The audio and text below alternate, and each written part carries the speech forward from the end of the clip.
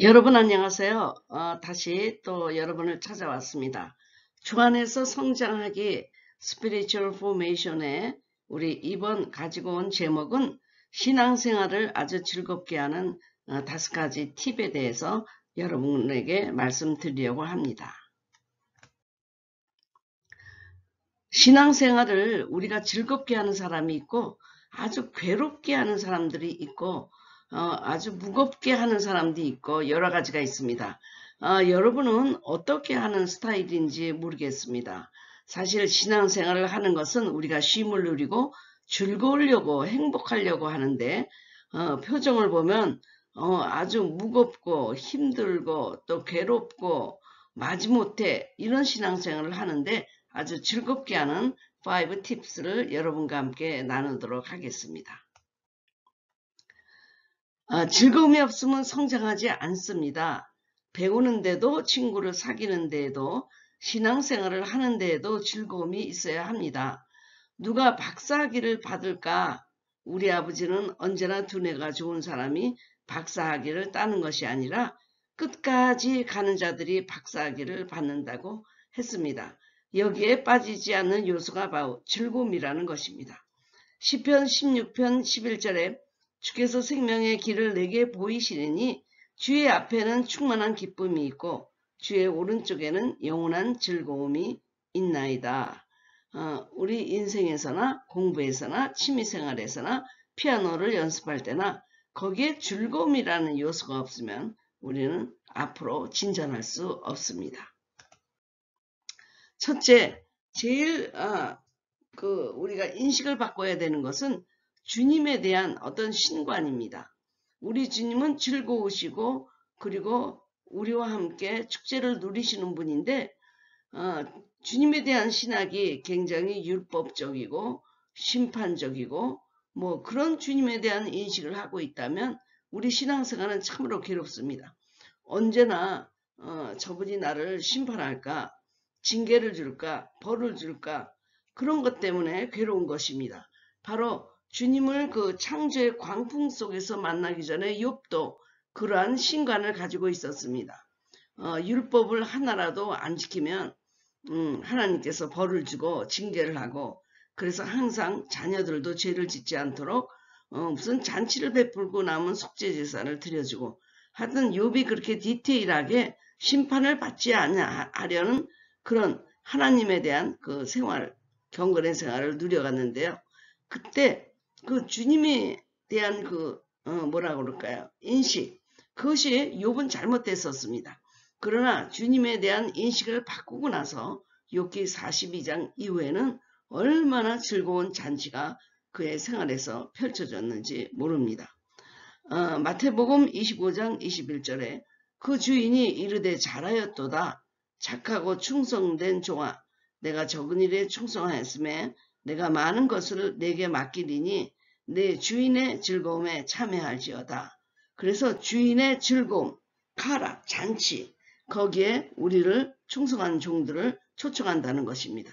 그래서 주님을 섬기는 것은 셀리브레이션이고 그리고 어떤 잔치고 그런데 그 주님에 대한 인식을 굉장히 무겁고 심판하시는 분, 율법적이고 정죄하고 두려운 분, 뭐 지옥으로 끌고 가는 분 이런 생각을 갖고 주님을 믿기 시작하면 우리는 절대로 신앙생활을 즐겁게 할 수가 없습니다. 두 번째 우리가 신앙생활을 즐겁게 하기 위해서는 무엇이든지 묻어두지 말고 사용해야 재미있습니다. 어, 달란트 비유에서도 그렇지만 사용할 때 더욱 재미있어집니다. 치유기도도 해보고 전도도 해보고 설교도 해봐야 재미있습니다. 어, 관객은 별로 재미가 없습니다. 직접 운동장에서 뛰는 선수들이 역동적인 재미를 느끼는 것입니다. 저는, 저는 설교를 듣거나 강의를 들으려고 앉아있을 때보다 코트 안에 들어가서 함께 기도해주고 귀신을 쫓아주고 할 때 더 힘이 나고 재미있습니다. 하면 할수록 더 풍성해지니까 재미있습니다. 여러분 관객이 되지 말고 선수가 되어보고요. 여러분이 말씀을 들었으면 들고 나가서 전하고 사용하시기를 바랍니다. 마태복음 13장 11절부터 13절 대답하여 이르시되 천국의 비밀을 아는 것이 너희에게는 허락되었으나 그들에게는 아니 되었나니 무릇 있는 자는 받아 넉넉하게 되되 없는 자는 그 있는 것도 빼앗기리라. 저는 처음에 주님이 말씀을 열어주기 시작할 때 아, 그것을 전하지 않고는 견딜 수가 없었습니다. 그래서 우리가 속해 모일 때 가서도 계속 그것을 전하고 하여튼 전할 수 있는 시간을 기다렸죠. 설교 때도 그 설교 시간이 나에게 해당되기를 어, 돌아오기를 얼마나 기다렸는지 모릅니다. 그래서 정말 항상 주님이 깨달아 깨닫게 해주신 걸 더 전하고 더 전하고 더 전하니까 더 많은 것을 설교에서 더 깊이에 들어가면서 하나님이 부어주셨습니다. 치유기도도 한 번 하니까 어, 낫는 거예요. 너무 놀라워서 그 다음부터는 계속 자신있게 치유 기도를 하게 되고 그리고 축사도 계속 그냥 집회 끝나고 그들을 어, 그 하나님 그 성령을 마시면서 기름 부음으로 불러들이면 계속해서 전부 축사가 되니까 아 축사가 이렇게 재밌는 거구나 그러면서 또 축사도 하게 되고 하는 것입니다. 그러니까 하나님께서 우리에게 준 거는 묻어두지 말고 사용해야 재미있고요. 어, 신앙생활도 이렇게 사용해야 재미있는 것입니다. 그 다음에 목적보다 과정을 즐겨야 하는 것입니다. 어떤 목표를 세우고 거기에 돌아, 도달하기 위해서 너무 집착하면 그 과정의 즐거움을 잃어버립니다. 우리가 잔치를 할 때 그 잔치에 손님이 와서 잔치를 하는 그 순간도 어, 중요하지만 그 잔치를 준비하는 과정이 참 준비한 것입니다. 언제나 그 과정 과정 하나에 소소한 즐거움을 느껴야 되는데 아, 나는 그냥 큰 종이 돼야지 그리고 내가 큰 어떤 교회 건물을 져야지 이런 데 목적을 두고 있으니까 그 과정 과정들은요 별로 자기에게 어떤 그 어, 흥분이 일어나지 않는 것입니다.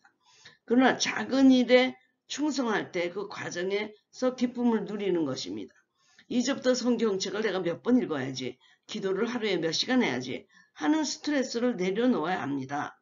그런 목표 자체가 신앙생활의 짐이 되는 거예요. 신앙생활은요, 주님이 짐을 지어주려고 하는 게 아니라 짐을 내려놓으라고 신앙생활을 하는 것이기 때문에 어떤 목적이나 비전을 설정해 놓고 그거를 달려가기 위해서 자기를 채찍질하는 그런 신앙생활은요 참으로 힘듭니다. 저희가 이제 1월 달에 그 집회를 하잖아요. 그, 그 집회하는 순간 굉장히 중요합니다.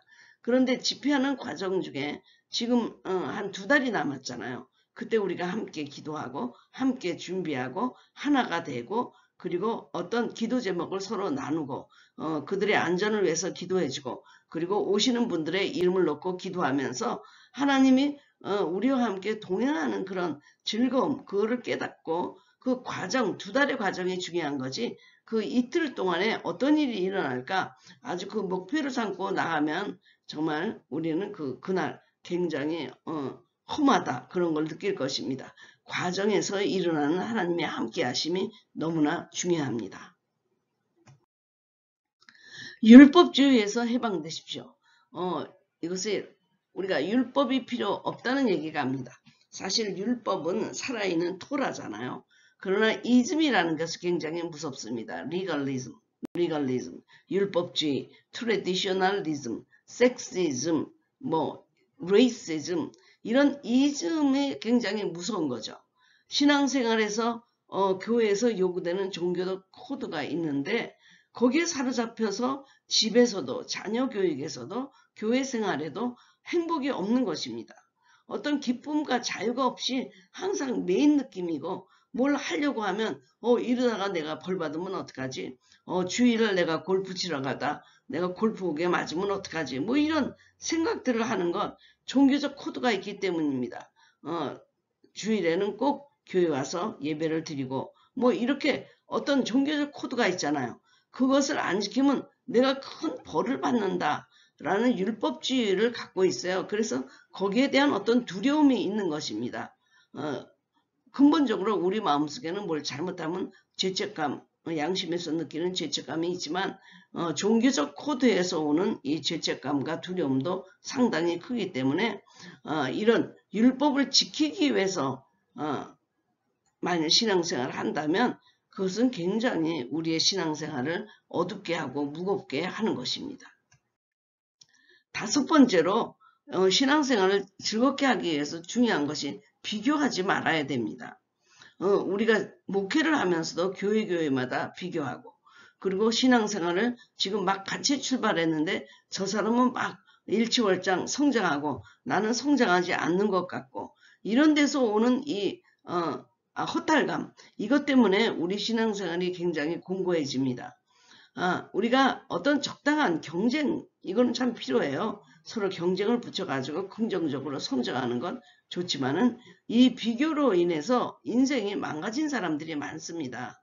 아이들도 자녀들끼리 서로 비교하고 공부를 비교하고 또 자기의 그 달란트를 비교하고 그럴 때 인생이 굉장히 비참하고 피곤하죠. 영적 성장에 대해서도 마음이 깊어지면 영적 성장이라는 것 거기에 노예가 되고 맙니다. 신앙생활을 즐기면서야 많은 열매를 믿고 기쁨을 얻습니다. 주님은 있는 그대로 우리의 것을 사랑하죠. 우리 존재를 사랑하죠. 그리고 우리가 갖고 있는 은사가 바로 세계적이고 창조적인 것입니다. 나만의 독특성, 그 누리는 것처럼 큰 기쁨이 없어요. 다른 사람을 따라가고 다른 사람을 따라 잡으려고 할 때 그때 참 우리는 우리 마음이 무거워지는 것입니다. 그래서 있는 그대로 그대로 주님 앞에 나오고 부족한 그 모습 그대로 주님 앞에 나올 때 행복한 것입니다. 주님은 우리에게 위대한 인물을 원하는 것이 아니라 하나님과 어, 대화하고 사랑을 나누는 자녀를 원하는 것입니다. 우리는 종의 영성이 아니에요. 뭘 잘해서 뭘 갚고 다른 사람보다 더 뛰어나고 이런 것이 아니라 있는 그대로 주님 앞에 어, 신앙생활을 하는 것입니다. 이런 뭐 율법을 지켜야 된다든지 비교를 해야 된다든지 비전을 갖고 거기를 달려가야 된다든지 이런 모든 것들 때문에 우리는 신앙생활이 상당히 무거운 것입니다. 그러니까 여러분이 여러분 자신을 풀어놓아 다니게 하세요. 여러분의 신앙생활을 힘들게 하는 것은 교회도 아니고 남편도 아니고 아내도 아니고 바로 여러분 자신입니다. 나사로가 무덤에 나왔을 때 한 가지 더 주님이 하신 일이 있습니다. 풀어놓아 다니게 하라.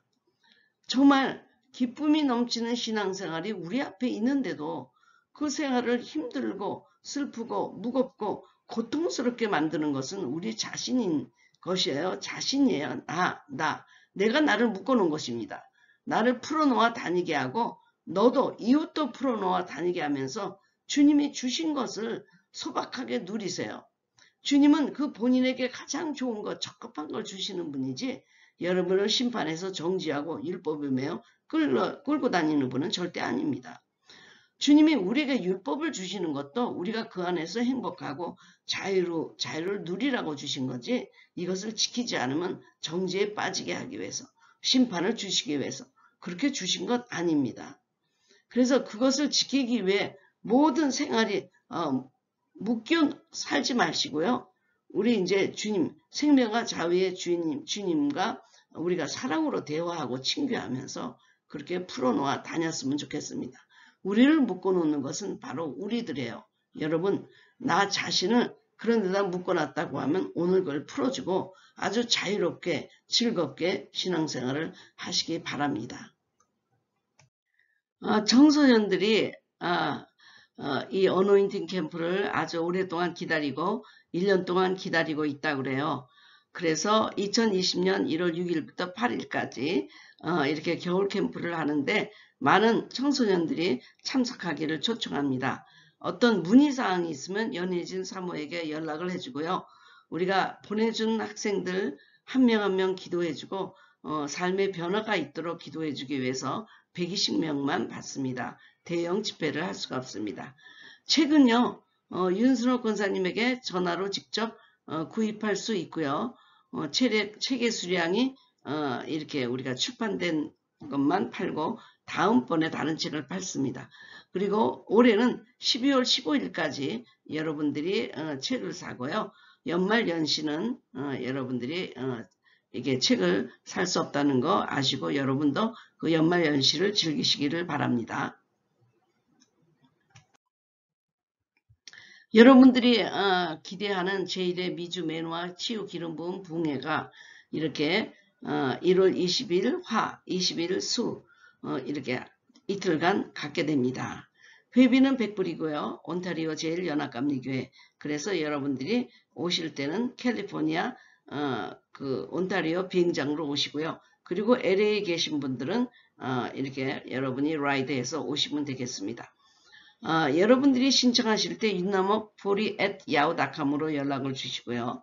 한국에 혹시 구자가 있으면 국민은행으로 여러분이 12만원 넣어드리면, 넣어주면 되겠습니다. 미국에서 오는 분들은요, 어, 체크를 써야 되는데 그 체크를 써서 보낼 주소를 이렇게 어, 야구닷컴으로 연락하면 저희가 보내드리겠습니다. 이 세 사람의 강사님들이 치유와 축사를 어, 각자 현장에서 열심히 하다가 이렇게 함께 힘을 합쳤습니다. 아, 여러분들도 정말 사도행전의 그 현장을 보게 될 것입니다. 여기에 나오는 모든 그 어, 질병들, 이런 질병들은 우리가 직접 어, 치유 집회할 때 낫던 병이고요. 또 여기 없는 병이라, 병 중에 폐암이라든지 파킨슨 병이라든지 아니면은 입이 마비된 사람이 풀렸다든지 뭐 이런 얘기들 그리고 뭐 어, 대장암 이런 뭐 직장암 이런 것들도 우리가 즉각적으로 거기서 고쳤던 어, 일들이 다 있습니다. 고관절이 이렇게 움직이면서 맞춰주고 하여튼 또 이 뼈들이 스스로 맞춰지는 모습이 움직이면서 보이고 하는 이런 기적들 어, 직 접적인 몸의 그 어, 치유가 일어납니다. 여러분 또 설교는 또 영어와 한국어로 진행될 거고요. 이세들에게는 영어로 기도해 줄 것입니다. 여기 계신 목사님들이 어, 영어권에 계신 목사님들이라 여러분 그 정신적으로 좀 힘든 자녀들도 데리고 오시면 좋겠습니다. 어, 이 교회는 우리가 집회를 할 그 교회입니다. 제가 매일 가서 어, 교회의 땅을 밟으며 기도하고 있는데 여러분도 함께 기도해 주시기 바랍니다. 어, 박승호 박사님은 치유 은사가 임파테이션 되는 부흥회가 되도록 기도하는데 어, 목사님이 직접 가서 어, 치유 은사가 임파테이션하고 서로 기도를 하다 그러면 거기에서도 기적이 일어난다는 것입니다. 어, 성철 목사님은 성령 세례를 모두 받는 부흥회가 되도록 기도하고 있습니다. 그리고 저는 영혼 몸의 전 인격적인 치유가 일어나서 사도행전적인 기적과 이사가 일어나서 살아계신 하나님을 만나는 부흥회가 되기를 기도합니다. 여러분 끝까지 함께 이렇게 시청해 주셔서 감사하고요.